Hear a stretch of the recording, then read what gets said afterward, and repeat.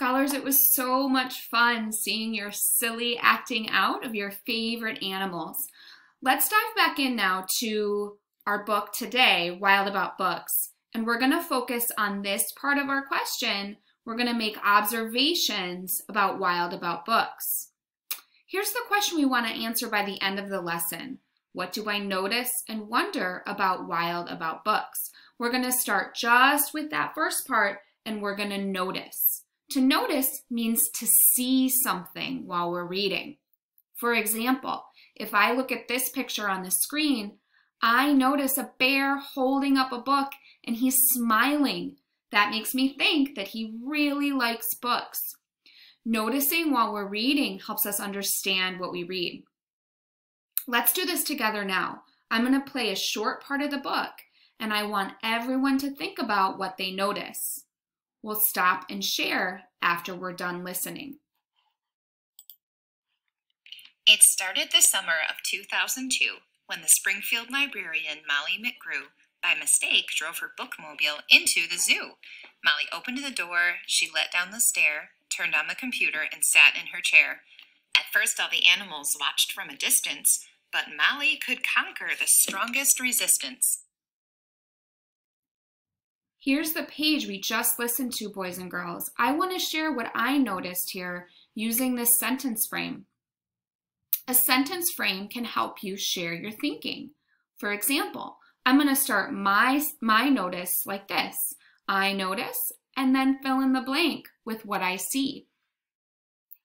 I notice the animals peering out of the zoo and looking at the librarian's bookmobile. What's something that you notice on this page? Give me a thumbs up when you're ready to share. Great noticing, scholars. Let's try this one more time. We're going to listen to the next part of the book, and I want you to be thinking about what do you notice?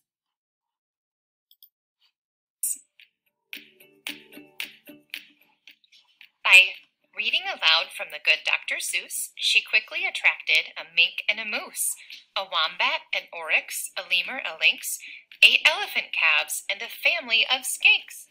In a flash, every beast in the zoo was stampeding to learn all about this new something called reading. Okay, scholars. Using this sentence frame here, let's think about that last page we read. Give me a thumbs up when you're ready to share something you noticed. You can start your sentence, I notice, and then tell us what you see.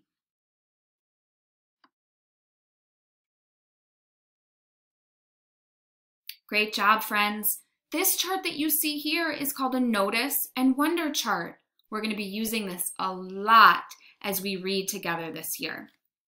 You'll see on the notice side over here, I wrote my notice. I see the animals looking at the bookmobile. I could add here as well some of the noticings that you had. We're going to be using this chart all throughout the year this year as we read books together to record what we notice and what we wonder. All right, scholars, we've tackled this first part of our question for today. We did a great job noticing as we read Wild About Books. Now we're going to move on to wonder.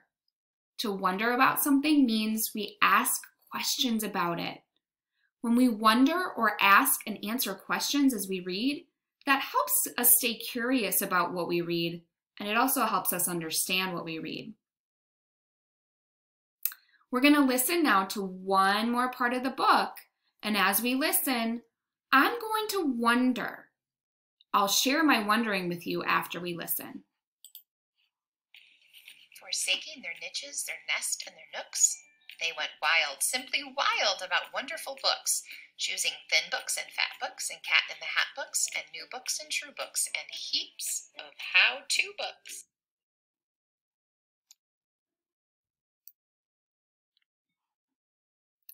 Scholars there was something that I wondered about on that page.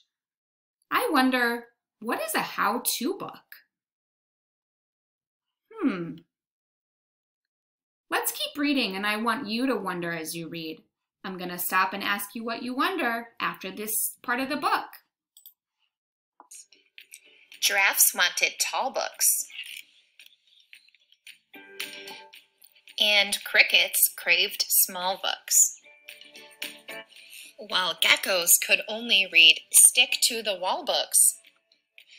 The pandas demanded more books in Chinese. Molly filled their requests, always eager to please. She even found waterproof books for the otter, who never went swimming without Harry Potter. Okay, friends, give me a thumbs up when you're ready to share, and I'm going to record your wonderings in our chart here. What is something that you wondered in that part of the story? We did it, friends. We just did a great job noticing and wondering as we read Wild About Books. Today, here's what we did. We learned about three different kinds of questions that we ask as readers.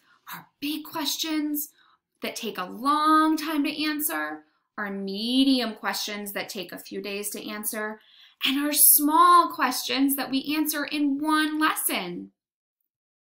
And this was our question we worked on today. We made observations, we noticed, and we asked questions we wondered about wild about books. Today, boys and girls, when you tell someone special at home what you learned, I want you to share what you learned about wild about books. Let's think of your answer now. Touch your brain when you know what you're going to share about wild about books.